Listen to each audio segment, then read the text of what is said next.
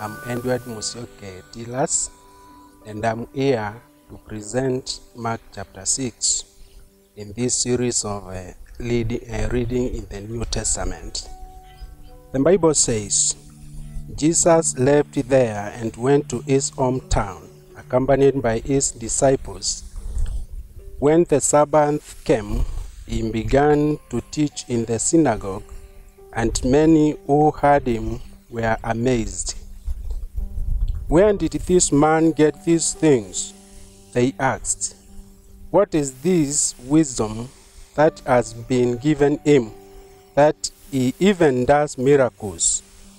Isn't this the carpenter? Isn't this Mary's son, and the brother of James, Joseph, Judas, and Simon? Aren't these sisters aren't his sisters here with us? And they took offense at him. Jesus said to them, Only in the hometown among his relatives and his own house is a prophet without honor. He could not do any miracle there uh, except lay uh, his hands on the few sick people and heal them. And he was amazed at their lack of faith. Jesus went round teaching from village to village, calling the twelve to him. He sent them out two by two and gave them authority over evil spirits. These were his instructions Take nothing from the journey except a staff, no bread, no bag, no money in your belts. Wear sandals, but not an extra tunic. Whenever you enter a house, stay there until you leave that town. And if any place will not welcome you or listen to you, shake the dust off your feet when you leave a testimony against them. They went out and preached the people should repent. They drove out many demons and anointed many sick people with oil and healed them. King Herod heard about this from Jesus. Uh, for Jesus' name had become well known, some were saying, John the Baptist has been raised from the dead, and that is why miraculous powers are at work in him. Others said he is Elijah, and still others claimed he is a prophet, like one of the prophets of long ago. But when Herod heard this, he said, John, the man I beheaded, has been raised from the dead. From, uh, for Herod himself had given other uh, orders to have John arrested, and he had him bound and put in prison. Indeed, this because of Herodias, his brother's Philip's wife, a wife, whom he had married. For John had been saying to Herod, It is not lawful for you to have your brother's wife. So Herodias nursed a grudge against John and wanted to kill him, but she was not able to, because Herod feared John, uh, uh, feared John, and protected him, knowing him to be righteous and a holy man. When Herod heard John, he was greatly puzzled, yet he liked to listen to him. Verse 21. Finally, the, uh, the opportune time came on his birthday.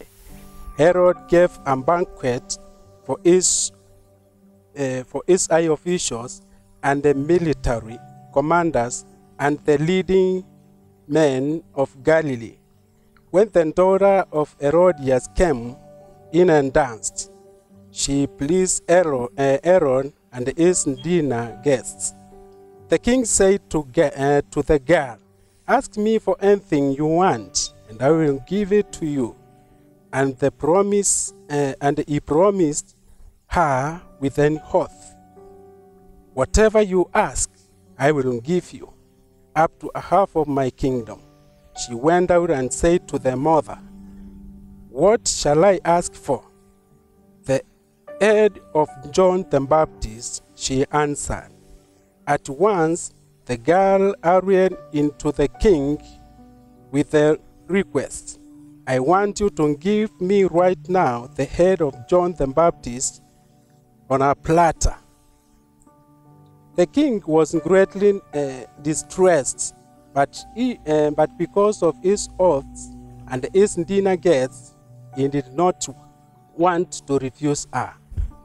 So immediately sent an executioner with orders to bring down to bring John's head. The man went, beheaded John in the prison, and brought back his head on a platter. He presented it to the girl and gave it to her mother. On hearing of this, John's disciples came and took his body and they laid it in a tomb. Verse 30. The apostles gathered round Jesus and reported to him what they had done and told. Then, because so many people were coming and going that they did not even have a chance to eat, he said to them, Come with me by yourselves to a quiet place and get some rest. Verse 32. So they went away by themselves in a boat to a solitary place. But many who saw them leaving recognized them and ran on foot from all the towns and then got there ahead of them. When Jesus landed and saw a large crowd, he had compassion on them because they were like sheep without a shepherd. So he began reaching them many things. Verse 34.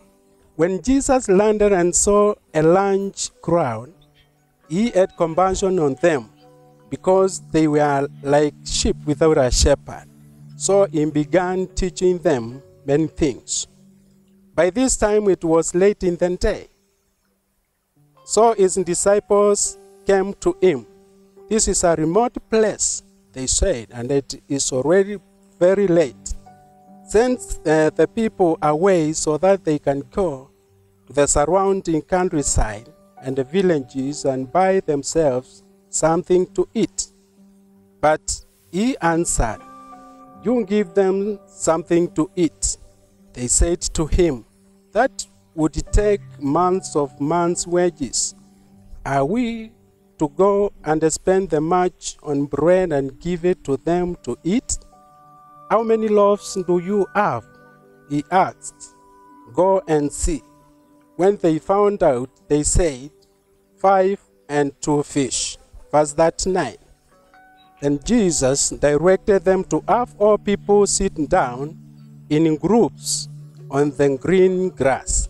So they sat down groups of hundreds and fifties.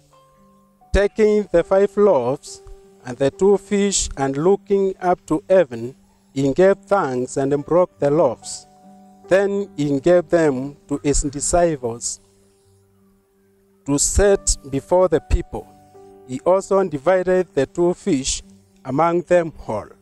They all ate and were satisfied and the disciples picked up twelve baskets of broken pieces of bread and fish. The number of the men who had eaten was 5,000. Verse 45 Immediately Jesus made his disciples get into the boats and then go on ahead of him to Bethsaida, while he dismissed the crowd. After leaving, he went up on a mountainside to pray. When evening came, the boat was in the middle of the lake and was alone on land. He saw the disciples training at the oars because the wind was against them. About the fourth watch of the night, he went out to them, walking on the lake.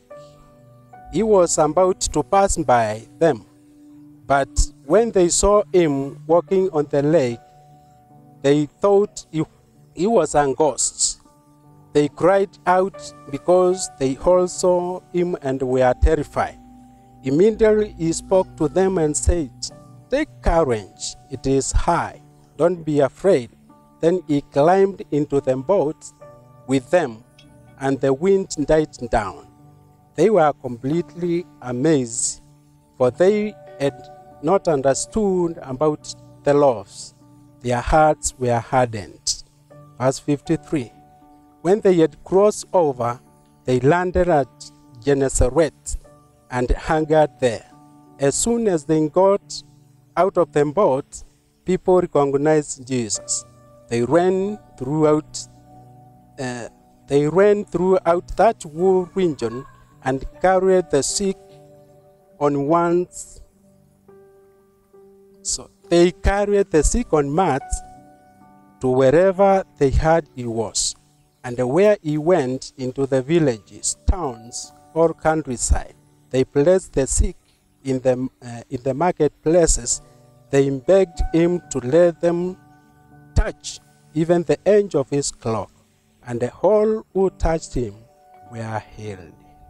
Thank you very much. That is Mark chapter 6. God bless his word.